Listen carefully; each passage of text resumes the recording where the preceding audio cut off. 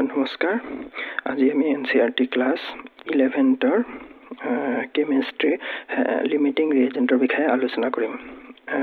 আৰু এটা কথা যোনে আজি মোৰ ভিডিঅ'বোৰ প্ৰথম চাব তেখেতসকলে মোৰ চেনেলটো কি কৰি ল'ব লাগিব ছাবস্ক্ৰাইব কৰি ল'বা আৰু লগতে থকা বেল আইকনটো দবাই দিবা। তেতিয়া ইয়াৰ পিছত মই যিবিলাক ভিডিঅ' আপলোড কৰি থাকিম তোমালোকৰ কেমেষ্ট্ৰি ৰিলেটেড লেচনবোৰ সেই লেচনবোৰৰ নটিফিকেশ্যন পাই থাকিবা আৰু লগে লগে চাব পাৰিবা। গতিকে পলম নকৰি আমি কি কৰোঁ আজিৰ লেচনটো ষ্টাৰ্ট কৰোঁ। প্ৰথমতে আমি লিমিটিং ৰিয়েজেণ্ট মানে কি সেইটো জানি লওঁ। ছাপ'জ আমি এটা যিকোনো আমি কিবা এটা কেমিকেল ৰিয়েকশ্যন যেনিবা কৰি আছোঁ। কৰি থাকোঁতে আমি আমাৰ কি হ'ব পাৰে এটা ৰিয়েজেণ্ট যদি আমি কমকৈ দিওঁ এটা যদি বেছিকৈ দিওঁ তেতিয়া আমাৰ কি হ'ব? এটা এটা ৰিয়েজেণ্ট সোনকালে আদায় হৈ থাকিব কিন্তু ৰিয়েকশ্যনটোত আমাৰ গোটেইখিনি প্ৰডাক্ট ফৰ্ম নহ'ব। এতিয়া যোনটো ৰিয়েজেণ্ট আগতীয়াকৈ আদায় হৈ থাকিব সেইটোকে আমি কি বুলি ক'ম? লিমিটিং ৰিয়েজেণ্ট বুলি ক'ম। এই ডেফিনেশ্যনখিনি ইয়াত লিখি থোৱা আছে এইখিনি ভিডিঅ'টো পজ কৰি ধুনীয়াকৈ লিখি ল'বা।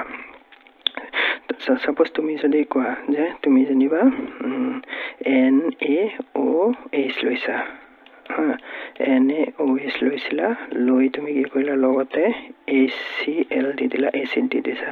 দি দিলা মানে এইফালে কি ফৰ্ম হ'ব? এন এ চি এল লগতে আৰু কি ফৰ্ম হ'ব? Water H two O' water এতিয়া চোৱা তুমি ইয়াত এন এ এইচ কেইটা লৈছা? এটা লৈছা। এইচ চি এল কেইটা লৈছা? এটা। এন এ চি এল কেইটা ফৰ্ম হৈছে এটা। এইচ টু অ' কেইটা ফৰ্ম হৈছে? এটাই ফৰ্ম হৈছে।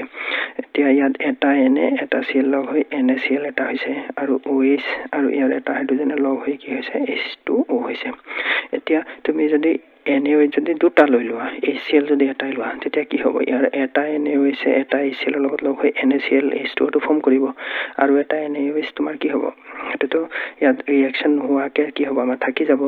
তাৰমানে আমাৰ এই এইটো যে এটা এন এ ৱেচ যে ৰিয়েকশ্যন নোহোৱাকৈ থাকি গ'ল তাৰ মেইন ৰিজনটো কি হ'ল? আমাৰ এইচ চি এল কম হ'ল। সেই এইচ চি এল কম হোৱাটোকে এইটোকে সেইকাৰণে এইচ চি এলটোকে আমি কি বুলি ক'ম? লিমিটিং ৰিয়েজেণ্ট তাৰমানে আমাৰ ৰিয়েকশ্যন এটা যাৰ কাৰণে ৰিয়েকশ্যনটো কি হ'ব? ষ্টপ হৈ যাব সেইটোকে আমি কি বুলি ক'ম লিমিটিং ৰিয়েজেণ্ট সকলোৱে মনত ৰাখিবা আশা কৰোঁ এই কথাটো ধুনীয়াকৈ বুজি পাইছা। গতিকে আমাৰ টেক্সট বুকত বহুত ডিটেইলছত পঢ়িবলৈ দিয়া নাই কিন্তু মই এইটো এটা লিমিটিং ৰিজেণ্টৰ ওপৰত এটা ভিডিঅ' বনাই দিছোঁ গতিকে অলপ ডিটেইলছত পঢ়াই দিছোঁ। এতিয়া আমি যোনখিনি পঢ়িম সেইখিনি তোমাৰ কিতাপত নাই কিন্তু পঢ়িবলৈ বুজি পাবলৈ চেষ্টা কৰিবা যে আমি এতিয়া লিমিটিং ৰিজেণ্টটো কেনেকৈ ডিটাৰমাইন কৰিব পাৰোঁ। আমি কেনেকৈ ডিটাৰমাইন কৰিম যে প্ৰথমতে এটা মেথড দিছে find and compare mole ratio' of the reactant used in the reaction সেইটো কৰি আমি ফাইন কৰিব পাৰোঁ বা আমি কেনেকৈ কৰিব পাৰোঁ। Calculate the gram of product produce from the given quantity of the reaction সেইটো এইটো এইটোতো আমি কৰিব পাৰোঁ। য'ত এতিয়া আমি কোনটো মেথডত কেনেকৈ কেলকুলেশ্যন কৰে সেই বস্তুটো চাম। প্ৰথমতে আমি যদি চাওঁ। Find the limiting reagent by looking at the number of moles is reactant তেতিয়া আমি ইয়াত পাঁচটা মেথডত যাব লাগিব। প্ৰথমতে আমি বেলেঞ্চ কেমিকেল ইকুৱেশ্যনটো বনাই ল'ম। তাৰপিছত অল ইনফৰ্মেশ্যন আমি কিহত কনভাৰ্ট কৰিম? মলছ তাৰপিছত আমি সিহঁতৰ মলৰ কি কৰিব লাগিব? ৰেচিঅ' উলিয়াব লাগিব। Use the amount of limiting reaction calculating the amount of product তাৰপিছত if necessary calculate how much left excess and non limiting reagent সেইটো আমি চাব পাৰোঁ এক্সেছ কিমানকৈ হেৰি হৈ থাকিব। এতিয়া এই পাঁচটা মেথডটো তুমি ভিডিঅ'টো পজ কৰি লিখি ল'বা। এইটো মেথডত আমি উলিয়াই ল'ব পাৰোঁ বা আমি কেনেকৈ উলিয়াব পাৰোঁ আৰু এটা মেথড আছিলে নহয় আমাৰ লিমিটিং ৰিয়েজেণ্ট ফাইন কৰা এইটো মেথডতো উলিয়াব পাৰা।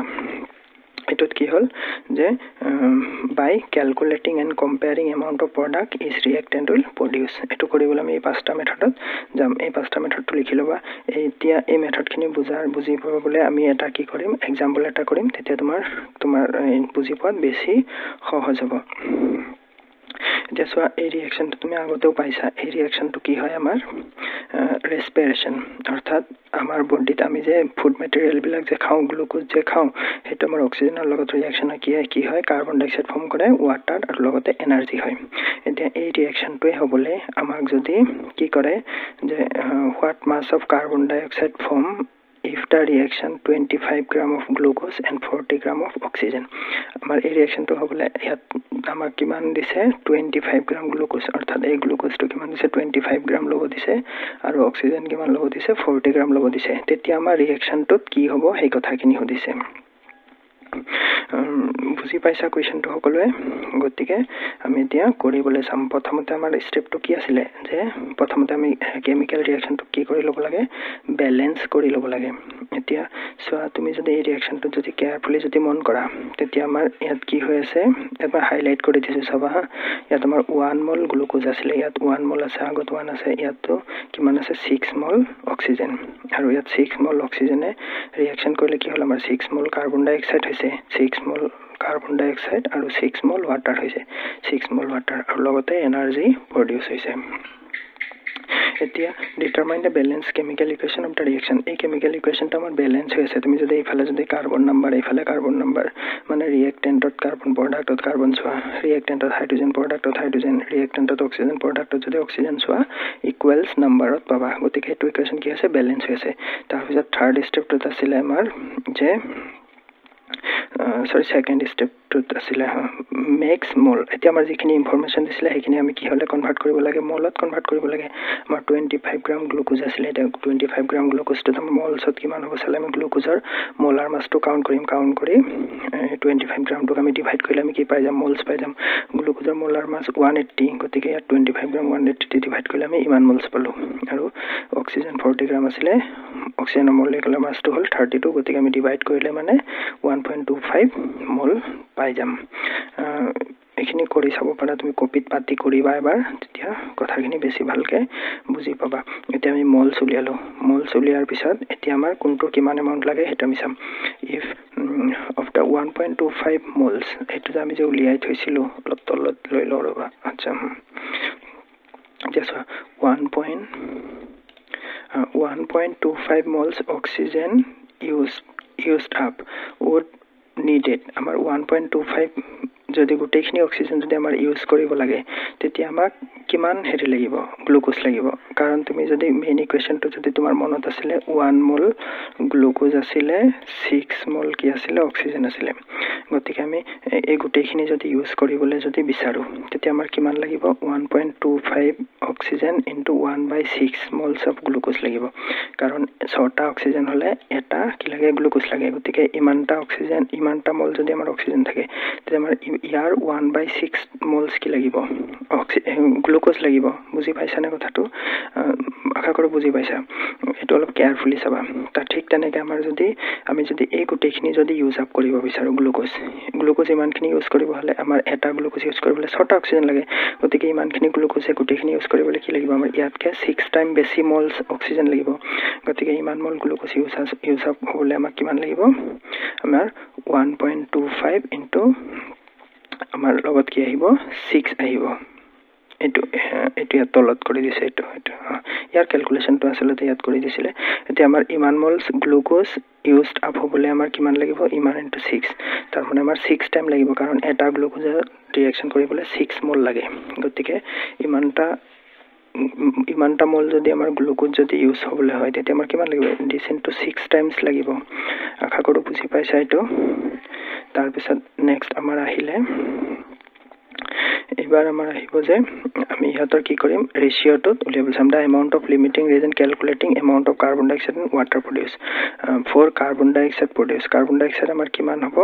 এতিয়া তুমি অলপ আগত কেলকুলেট কৰি থৈছিলা যে এইটো one point zero' three mole of glucose into one by six that means ইমান mole of carbon dioxide carbon dioxide তোমাৰ কিমান আছিলে? ছিক্স টাইম ফৰ্ম হৈছিলে মনত আছে? কাৰ্বন ডাই অক্সাইড কিমান হৈছিলে? ছিক্স টাইম হৈছিলে চি অ' টু আৰু লগতে ৱাটাৰ কিমান হৈছিলে? ৱাটাৰো ছিক্স টাইম হৈছিলে ছটাই হৈছিলে। আশা কৰোঁ বুজি পাইছিলা এই কথাখিনি। এতিয়া তেন্তে আমাৰ ইমান মল গ্লুক'জ যদি তোমাৰ ইউজ কৰা গ্লুক'জৰ যিটো এমাউণ্টটো তুমি উলিয়াইছিলা তাত আমাৰ কিমান লাগিব তেতিয়া? ছিক্স টাইম লাগিব গতিকে ইয়াৰ লগত তুমি ছিক্স ইনটু কৰা ইমান মলছ কাৰ্বন ডাই অক্সাইড ফৰ্ম হ'ব। ঠিক তেনেকৈ আৰু আমাক যদি কয় লেফ্ট এমাউণ্ট যিটো আছিলে লেফ্ট হৈ থকা যিটো এক্সিছ এমাউণ্ট কিমান আছিলে তাৰমানে আমাৰ one point two five mole oxygen আছিলে ন তাৰ পৰা তুমি ইমান মলটো এতিয়া যোনটো কেলকুলেট কৰিলা সেইটো তুমি মাইনাছ কৰি দিয়া ইমানটো তোমাৰ কি হ'ব এক্সিছটো এক্স পাই যাবাগৈ মাইনাছ কৰি দিলে ইয়াৰ পৰা ভেলুটো তাৰপিছত